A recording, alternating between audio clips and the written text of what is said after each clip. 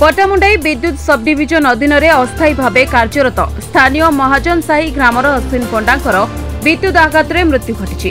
ତେବେ ପଟାମୁଣ୍ଡାଇ ମଠସାହି ଗ୍ରାମରେ ଜନୈକ ବ୍ୟକ୍ତିଙ୍କ ବିଦ୍ୟୁତ ମିଟରକୁ ଅନ୍ୟ ଏକ କୋଠାକୁ ସ୍ଥାନାନ୍ତର କରିବା ସମୟରେ ବିଦ୍ୟୁତ ଆଘାତରେ ଅଶ୍ୱିନୀଙ୍କର ମୃତ୍ୟୁ ଘଟିଛି।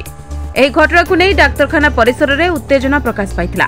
ଅଶ୍ୱିନୀଙ୍କ ପରିବାର ପକ୍ଷରୁ ପଟାମୁଣ୍ଡାଇ ଆଦର୍ଶ ଥାନାରେ ଲିଖିତ ଅଭିଯୋଗ କରାଯାଇଛି। ସ୍ୱର୍ଗତ ବାସନ୍ତୀ ବିଶ୍ୱାଳଙ୍କର ବିୟୋଗର ଦ୍ୱାଦଶ ତିଥିରେ ତାଙ୍କ ଉଦ୍ଦେଶ୍ୟରେ ଗଭୀର ଶ୍ରଦ୍ଧାଞ୍ଜଳି ଅର୍ପଣ କରାଯାଇଛି। ଏହି ଉପଲକ୍ଷେ ସେ ବସବାସ କରୁଥିବା ବ୍ରହ୍ମପୁର ସହରର ହିଲପାଟଣାଠାରେ ଅବସ୍ଥିତ ଶହୀଦ ଲକ୍ଷ୍ମଣ ନାୟକ କମ୍ୟୁନିଟି ହଲ୍ରେ ଆୟୋଜିତ ଏକ ଶୋକ ସଭାରେ ବହୁ ବରେଣ୍ୟ ଅତିଥି ଯୋଗଦେଇ ତାଙ୍କର ଆଦର୍ଶ ଜୀବନର ଅମ୍ଳାନ ସ୍ମୃତିଚାରଣ କରିବା ସହ ଦିବଙ୍ଗତ ଆତ୍ମାର ସଦ୍ଗତି ଓ ଚିରଶାନ୍ତି କାମନା କରିଥିଲେ। ସୁକିନ୍ଦା ଥାନା ଅନ୍ତର୍ଗତ ସୁକିନ୍ଦା ପ୍ରାଣୀ ଚିକିତ୍ସା କେନ୍ଦ୍ର ପରିସରରୁ ବିଭିନ୍ନ ସାମଗ୍ରୀ ଚୋରି ହୋଇଥିବା ନେଇ ସୋମବାର ଥାନାରେ ଅଭିଯୋଗ ହୋଇଛି। ସୂଚନା ମୁତାବକ ସୁକିନ୍ଦା ପ୍ରାଣୀ ଚିକିତ୍ସା କେନ୍ଦ୍ର ପରିସରରେ ଥିବା ଗୃହରେ ଲାଗିଥିବା ଲୁହା ଗେଟ୍ ଓ ବିଭିନ୍ନ ସାମଗ୍ରୀକୁ ରବିବାର ବିଳମ୍ବିତ ରାତିରେ କେହି ଅଜଣା ଲୁଟେରା ଲୁଟି ନେଇଛନ୍ତି। ସୁକିନ୍ଦା ପୋଲିସ ଘଟଣାର ତଦନ୍ତ ଆରମ୍ଭ କରିଥିବା ସୂଚନା ମିଳିଛି। ଯାଜପୁର ଜିଲ୍ଲା ଦର୍ପଣ ତହସିଲ ଅଧୀନସ୍ଥ ଛତିଆ ଆର୍ଆଇ ସର୍କଲ ଅଧୀନରେ ଥିବା ବାବୁଗଞ୍ଜ ମୌଜାରେ ଖାତା ନମ୍ବର ତେଇଶରେ ବାଇଶ ତେଇଶ ଚବିଶ ପ୍ଲଟ ରହିଛି। ଏହି ତେଇଶ ନମ୍ବର ଖାତାଟି ସରକାରୀ ରକ୍ଷିତ ଖାତା ଅଟେ ଏକାଧିକ ଘର ନିର୍ମାଣ କରାଯାଇଛି।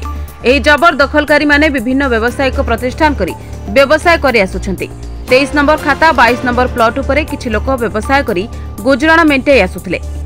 କିନ୍ତୁ ଚଳିତ ବର୍ଷ ମେ ମାସ ପଚିଶ ତାରିଖରେ ଦର୍ପଣ ତହସିଲ ପକ୍ଷରୁ ଦୁଇଟି ଦୋକାନକୁ ଅଦାଲତ ନିର୍ଦ୍ଦେଶରେ ଭଙ୍ଗାଯାଇଥିଲା ଆଜି ଜେସିବି ମେସିନ୍ ଓ ଟ୍ରାକ୍ଟର ଲଗାଇ ଭାଙ୍ଗି ଉକ୍ତ ସ୍ଥାନକୁ ଅବରୋଧ ହଟାଇଛନ୍ତି ବାଲେଶ୍ୱର ଜିଲ୍ଲା ବସ୍ତା ନିର୍ବାଚନ ମଣ୍ଡଳୀରେ ବିଜୁ ଜନତା ଦଳ ପକ୍ଷରୁ ବିଶାଳ ପରିବାର ସମ୍ପର୍କ ପଦଯାତ୍ରା ଅନୁଷ୍ଠିତ ହୋଇଯାଇଛି।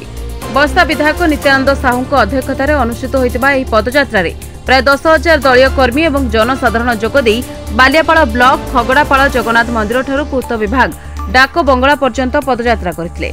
ବସ୍ଷ୍ଟାଣ୍ଡ ନିକଟରେ ଅନୁଷ୍ଠିତ ସଭାରେ ଆଗାମୀ ନିର୍ବାଚନରେ ନବୀନ ପଟ୍ଟନାୟକଙ୍କୁ ପୁଣି ଥରେ ମୁଖ୍ୟମନ୍ତ୍ରୀ ଆସନରେ ବସାଇବାକୁ ନିବେଦନ କରିଥିଲେ। ଲକ୍ଷ୍ମୀପୁର ବ୍ଲକ ପରିସରରେ ଛବିଶତମ ପର ପ୍ରସ୍ତୁତି ବୈଠକ ବିଡିଓ ଗୁରେଶ୍ୱର ଭୋଇଙ୍କ ଅଧ୍ୟକ୍ଷତାରେ ଅନୁଷ୍ଠିତ ହୋଇଥିଲା। ଏଥିରେ ମୁଖ୍ୟ ଅତିଥି ଭାବେ ଲକ୍ଷ୍ମୀପୁର ନିର୍ବାଚନ ମଣ୍ଡଳୀର ବିଧାୟକ ପ୍ରଭୁ ଜାନି ଯୋଗ ଦେଇଥିବା ବେଳେ ସମ୍ମାନିତ ଅତିଥି ଭାବେ ଲକ୍ଷ୍ମୀପୁର ବ୍ଲକ ଉପାଧ୍ୟକ୍ଷ ଆରତୀ କୁଲଦୀପ ଏବଂ ବ୍ଲକର ସମସ୍ତ ସରପଞ୍ଚ ଓ ସମିତି ସଭ୍ୟ ସଭ୍ୟା ଉପସ୍ଥିତ ଥିଲେ। ଉକ୍ତ ବୈଠକରେ ଚଳିତ ବର୍ଷ ଗ୍ରାମ ପଞ୍ଚାୟତ ସ୍ତରରେ ଆଠ ତାରିଖଠାରୁ ପରବ କରି ବ୍ଲକ ସ୍ତରରେ ଦଶ ତାରିଖରେ ପରବ ପାଳନ କରିବା ପାଇଁ ବୈଠକରେ ନିଷ୍ପତ୍ତି ନିଆଯାଇଛି। କଟକ ଜିଲ୍ଲା କୁହମଡ଼ା ବାଁରା ଗ୍ରାମରେ ଗଜଲକ୍ଷ୍ମୀ ବିସର୍ଜନ ହୋଇଯାଇଛି। ଏହି ଗ୍ରାମରେ ଦୀର୍ଘ ଚଉଦ ବର୍ଷ ହେବ ଗଜଲକ୍ଷ୍ମୀ ପୂଜା ହୋଇଆସୁଛି ତେବେ ଚଳିତ ବର୍ଷ ପୂଜାରେ ଶତାଧିକ ଲୋକ ଉପସ୍ଥିତ ରହିଥିଲେ। ଏହି ଉତ୍ସବରେ ମୁଖ୍ୟ ଅତିଥି ଭାବେ ପ୍ରଭାତ କୁମାର ତ୍ରିପାଠୀ ଯୋଗ ଦେଇଥିବା ବେଳେ ଜୟନ୍ତ ରାଉତ ସୋମନାଥ ରାଉତ ସନ୍ତୋଷ ବାରିକ ସଂଗ୍ରାମ ରାଉତ ଅଜିତ କୁମାର ବାରିକ ପିଙ୍କୁ ରାଉତ ସୁଶାନ୍ତ ରାଉତ ପ୍ରମୁଖ ସହଯୋଗ କରିଥିଲେ। ଚନ୍ଦାଲି ପୋଲିସ ଓ ମତ ଫାଣ୍ଡି ପୋଲିସର ମିଳିତ ଉଦ୍ୟମରେ ବେଆଇନ ବାଣ କାରଖାନା ଉପରେ ଆଜି ଅଚାନକ ଚଢ଼ାଉ କରି ଦଶ ବସ୍ତାରୁ ଅଧିକ ବାଣ ବସ୍ତା ଜବତ କରିବା ସମୟରେ କାରିଗର ଫେରାର ହୋଇଯାଇଛନ୍ତି।